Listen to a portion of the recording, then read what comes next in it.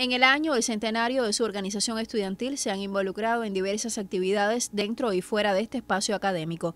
También ellos en sus brigadas, así como desde el quehacer de extensión universitaria, reflexionaron acerca de cuánto más hacer por revitalizar el funcionamiento orgánico de la FEU. En lo que viene siendo el sistema de salud también queremos utilizar todos los espacios que como universidad pues tenemos. La universidad no solo es la facultad, es el sistema hospital pediátrico, hospital general Gustavo de Leguía Lima, el SEA, y en cada uno de esos espacios pues queremos hacer algo que tenga que ver con el Congreso.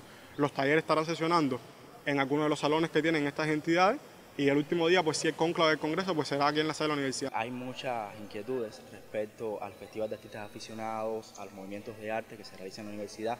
Entonces estamos trabajando todos juntos como secretariado y como FEU claramente para retomar todos estos proyectos que, han acontecido años anteriores. También la parte de comunicación, como aumentar esa, ese, intercambio entre el estudiante y el secretariado y que todas las informaciones lleguen con su debido tiempo, pues bien dadas. Desde este miércoles y hasta el viernes 21 de octubre sesionará el décimo Congreso de la FEU en la Universidad Sinfueguera de las Ciencias Médicas, que ha promovido la realización de varias actividades y algunas estarán por concretarse como la tarja que se develará en el busto de Mella, denominada Generación del Centenario. Empezamos el día 19, 7 y 30 de la mañana, se estarán acreditando los 100 delegados y parte de los invitados que tengamos acá en el Congreso. Una vez develada la taja, pues estaremos partiendo a la comunidad de Papilotei con un grupo de los delegados hacer una intervención comunitaria en la comunidad y en la escuela, tanto de la prevención de salud como poder presentar algunos de los proyectos en los que se lleva trabajando la universidad durante todos estos 40, 40 años de formación.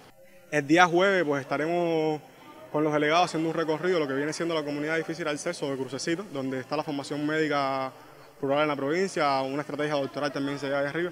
Y creo que sería bueno que nuestros estudiantes del pregrado pues puedan conocer hasta dónde llega la, salud pública y hasta dónde llega la formación del posgrado una vez sean egresados a la universidad y todo lo que se hace en una comunidad difícil de acceso.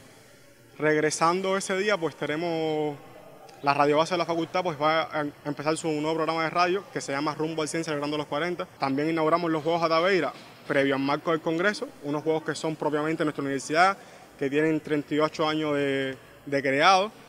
El conclave tengamos pensado se, debe entregar condición centenario, se entrega por vez única y entonces debemos invitar personalidades e instituciones que reciban esta condición, alrededor de 30, 30 condiciones se deben estar entregando. Rumbo al 100 celebrando los 40 es la frase que defiende este movimiento estudiantil cuando en diciembre esta universidad arriba las cuatro décadas de constituida y la FEU a su centenario de fundada, sendos aniversarios que celebra esta comunidad joven cienfueguera.